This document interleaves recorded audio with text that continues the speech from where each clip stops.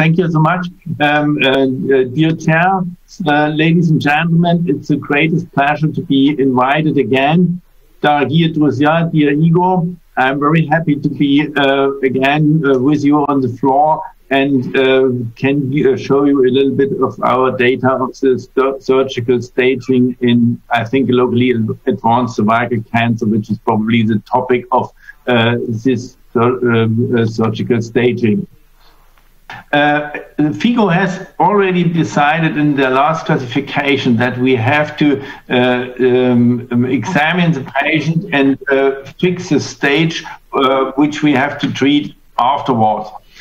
But uh, we all um, know that other very important prognostic factors as tumor size, uh, besides the tumor size and the stage are lymph node metastasis, the uh, relation of the tumor to the adjacent organs, and of course, if the tumor has already provided an intra-abdominal spread, which is difficult to uh, to examine. We do have um, uh, two basic principles.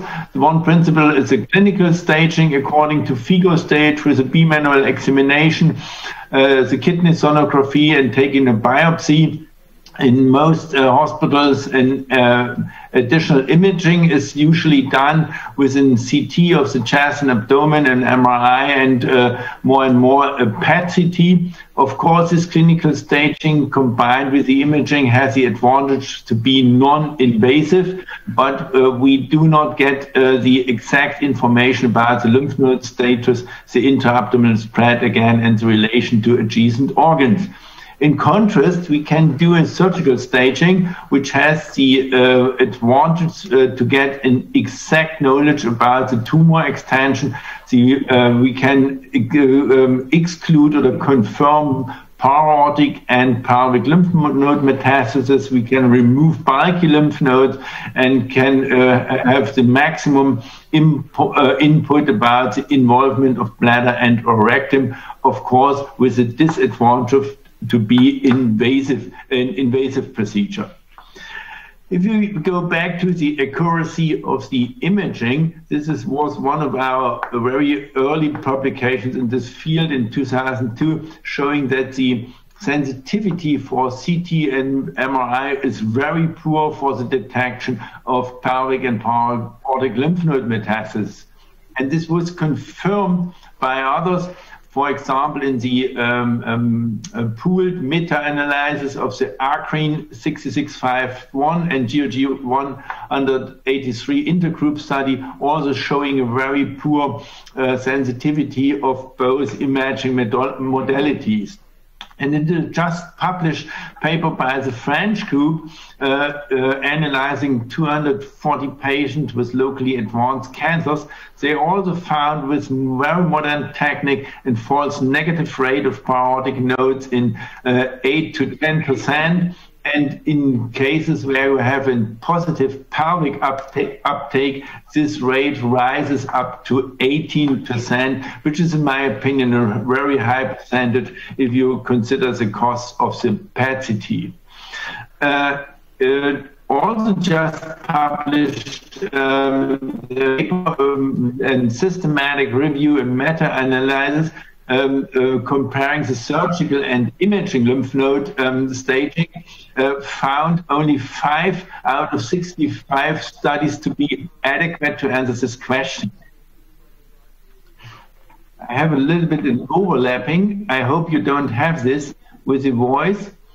Uh, the sensitivity of the imaging was for pelvic lymph nodes 89%, but the sensitivity for the imaging for para-aortic lymph nodes was uh, described with only 33 to 62 percent. But in the conclusion, the author stated that there was no difference in progression-free survival and overall survival. And I cannot really believe this because if you have such a low detection rate of para-aortic lymph node metastasis, which implies modification of your treatment, uh, you should find any difference in the uh, um, um, oncologic outcome.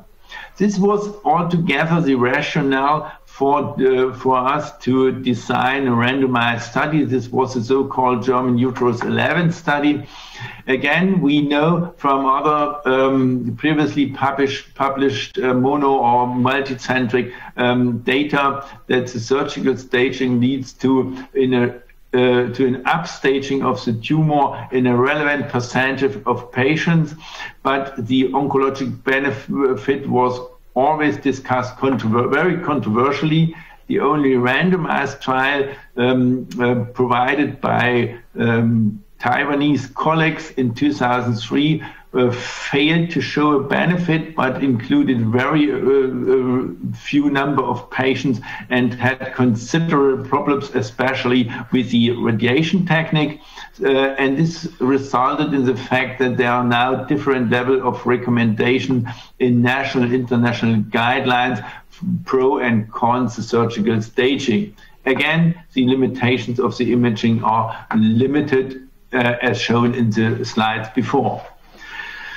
Our base, one of our bases for our uh, thesis of the study was this meta-analysis by Gold in um, 2008 published, who separated the patients from the huge GOG studies that introduced chemoradiation into the field of um, uh, um, the treatment of patients with locally advanced cervical cancers, GOG study 85, 120, 165.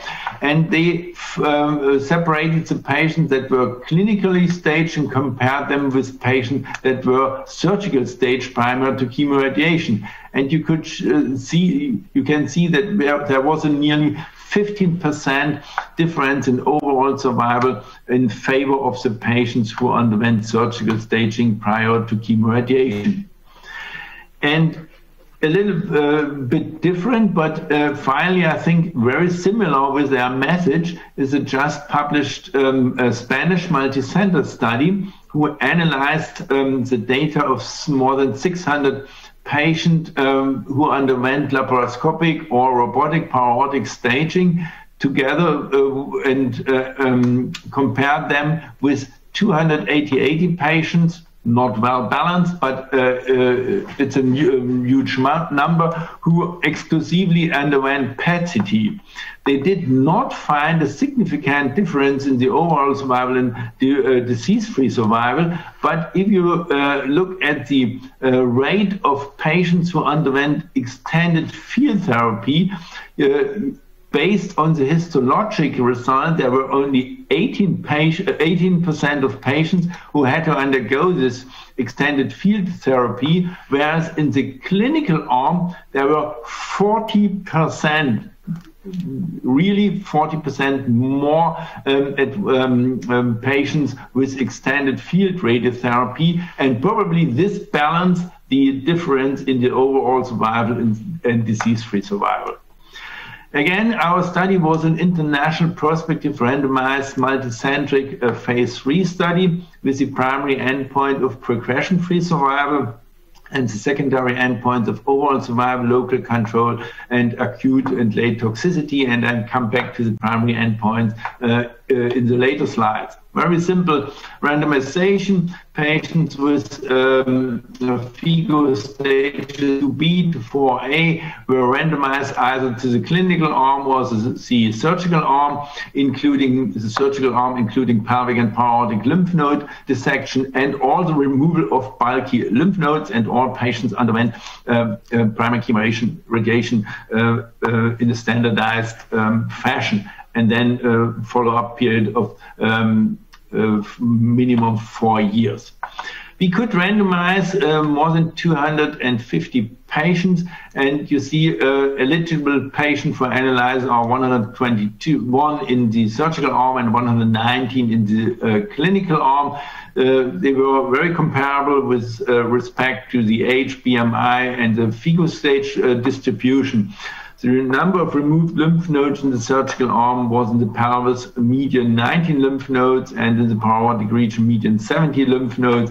And you see the uh, metastasis in the pelvic lymph nodes are on average 2.4 and para-aortic lymph node metastasis occurred in uh, 1.3.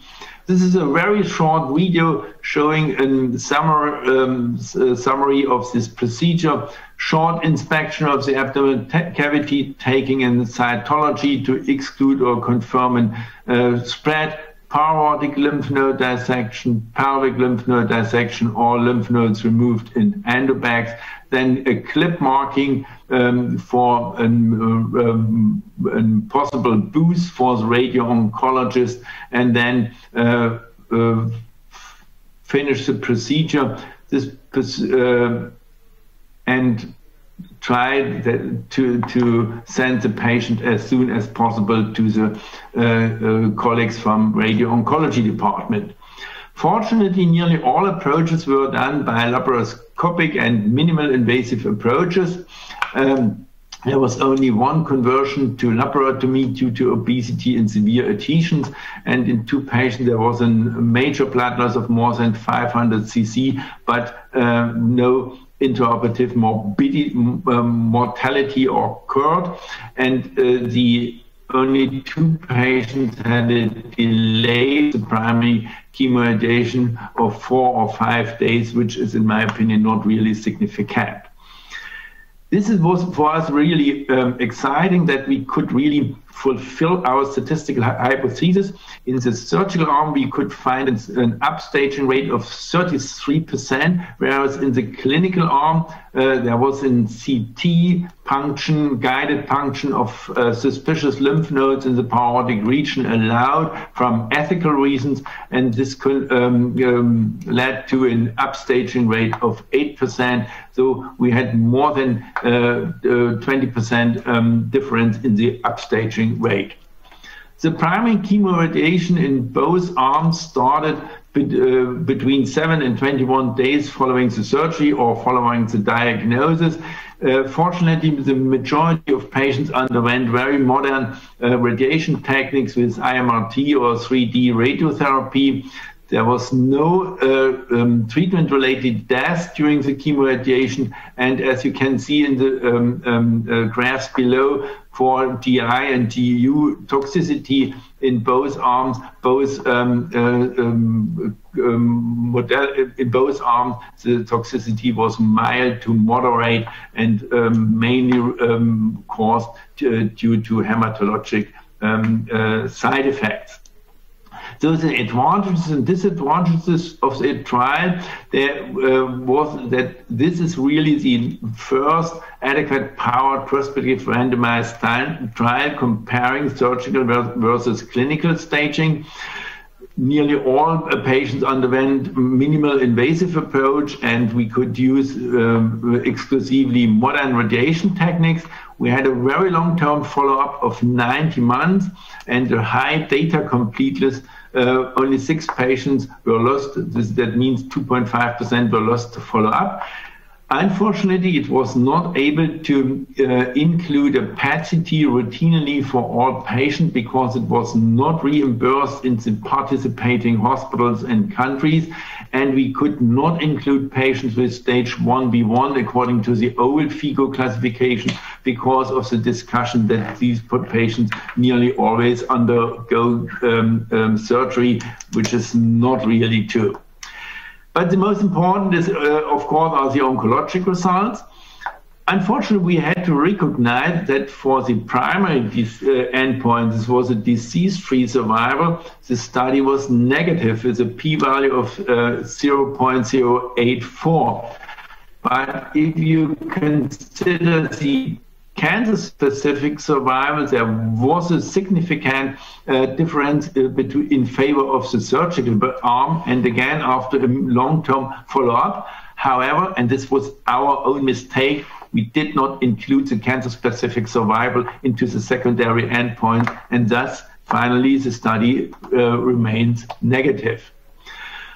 Who are the patients who mostly profit, profit from surgical staging? In the subgroup analysis, you see that patients with FIGO stage 2B have a hazard ratio of 0.51 with a p-value of 0.011 in favor of the surgical staging probably these are the patients who are just uh, uh, one step before um, um, metastatic diseases to other organs. And if you treat these patients accordingly, they probably uh, benefit mostly from the surgical staging, but this is in hypothesis. In conclusion, I think the surgical staging done by laparoscopy is a safe um, procedure and does neither delay the primary chemoradiation nor increases the early complication rate of primary chemoradiation. Uh, in this randomized trial, there is a significant cancer-specific survival benefit and a significant benefit for patients with FIGO stage 2B. In fact, for the entire cohort, it is a negative uh, trial. But what we have to consider if your patient recurs, the majority of patients recurred as with distant metastasis, so there's an urgent need for better maintenance therapy following primary chemoradiation in order to reduce the rate of the distant metastasis. And we hope that the ESGO can provide a new study um, uh, which is a um, continuous of the planned LILAC trial that in, can routinely include the PET-CT, which would be uh, highly important uh, to answer this question between clinical and imaging uh, uh, staging in patients with locally advanced cancers um, Igor probably knows this. This is a river and a, a view from from my running uh, um, um, um uh, area uh, daily, and sometimes you have to change your opinion and totally uh, um, uh, change the, the, direction of your way of thinking, and then continues in the opposite uh, uh, direction of the river, as this container ship has just done in this short video clip. Thank you so much for inviting me, and I uh, congratulate all the other speakers for their outstanding presentations and fantastic result. Thank you so much, and I hope to uh, see you soon personally, uh, very soon in the uh, nearest future.